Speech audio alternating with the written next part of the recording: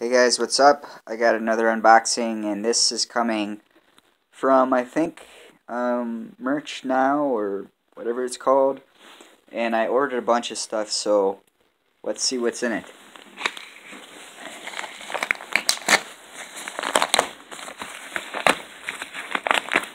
So, we have stickers, which I bought for the van. For the van.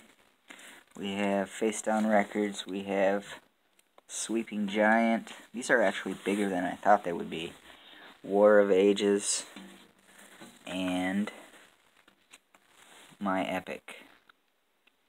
That looks like a different sticker than the one I bought, but oh well.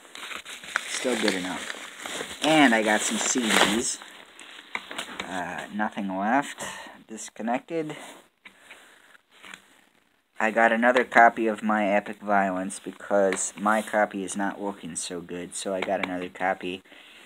And I got, uh, no, this is not cool. Why did it, why does this happen?